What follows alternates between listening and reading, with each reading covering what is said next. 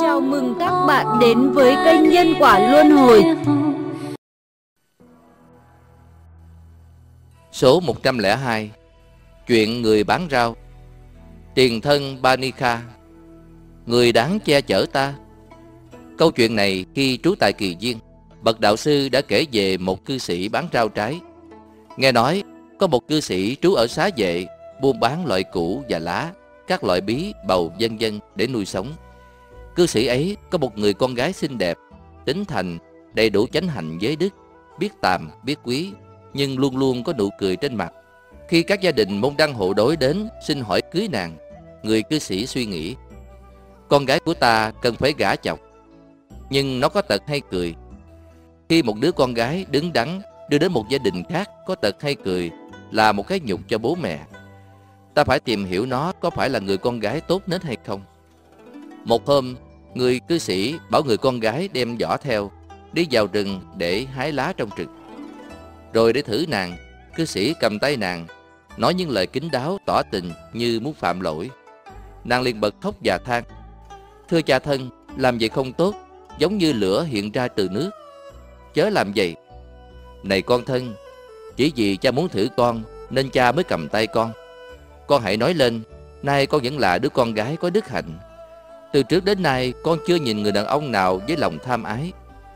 Người cha an ủi con gái dắt về nhà Tổ chức tiệc cưới và đưa con gái về nhà chồng Rồi người cư sĩ ấy quyết định đi đảnh lễ bậc đạo sư Đem theo hương, vòng hoa, vân vân. Ông đến kỳ viên, đảnh lễ bậc đạo sư Cúng dường rồi ngồi xuống một bên. Khi được hỏi vì sao lâu nay không thấy đến Người cư sĩ ấy thuật câu chuyện cho Thế Tôn rõ Bậc đạo sư nói này cư sĩ, thiếu nữ này từ lâu đã sống có chánh hạnh, có giới đức. Không phải chỉ nay ông mới thử nó, chính trong quá khứ ông cũng đã thử rồi. Nói vậy xong, bậc đạo sư kể câu chuyện quá khứ. Thuở xưa khi vua Ramadatta trị vì ở Ba La Nại, Bồ Tát Sanh là một thần cây trong rừng. Một người cư sĩ bán rau trái ở Ba La Nại. Câu chuyện giống như câu chuyện hiện tại. Khi người cư sĩ cầm tay con gái để thử lòng, Cô con gái bật khóc và nói lên bài kệ này. Người đáng che chở ta, trong khi ta đau khổ, người ấy là cha ta, lại làm quấy với ta, chính tại giữa ngôi rừng. Ta khóc việc làm ấy, người đáng che chở ta, lại là kẻ thù ta. Khi ấy, người cha an ủi con gái, hỏi nàng có biết giữ gìn bản thân không? Người con gái trả lời, nàng biết giữ gìn bản thân mình. Người cha đem nàng về nhà, tổ chức tiệc đám cưới và đưa nàng về nhà chồng. Sau khi kể pháp thoại này, bậc đạo sư giảng về các sự thật và cuối bài giảng ấy, người bán rau được ăn trú vào quả dự lưu. Rồi bậc đạo sư nhận diện tiền thân. Cha và người con gái lúc bấy giờ là người cha và cô con gái hiện tại.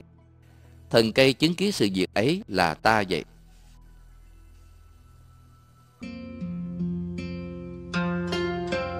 嗡哈哈哈温珊摩帝梭